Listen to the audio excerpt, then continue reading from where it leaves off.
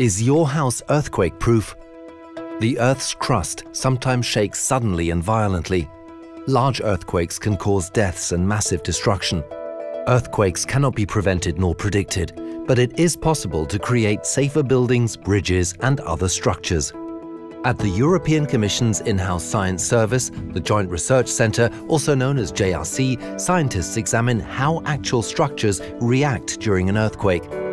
The JRC's European Laboratory for Structural Assessment, ELSA, is equipped with one of the largest reaction walls in the world. This wall allows the researchers to test buildings that are up to five stories high. For the test, a structure is connected to the reaction wall through hydraulic jacks on every floor.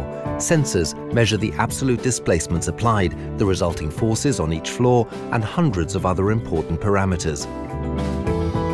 During a real earthquake, the deformation and possible damage to the structure are induced by the sudden ground movements, while during the test at the JRC, they are applied by the hydraulic jacks in a slow motion.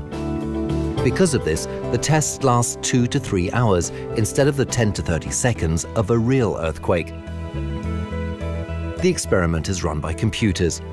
They are fed the measurements from the sensors, solve complex equations involving the recorded ground movements, and at the same time, they control the actuators.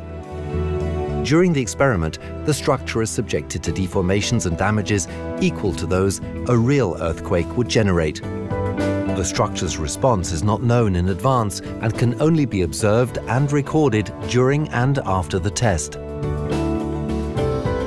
The results of the tests performed at the JRC are used to implement state-of-the-art European guidelines and standards for seismic design and retrofitting of buildings, such as the Eurocodes.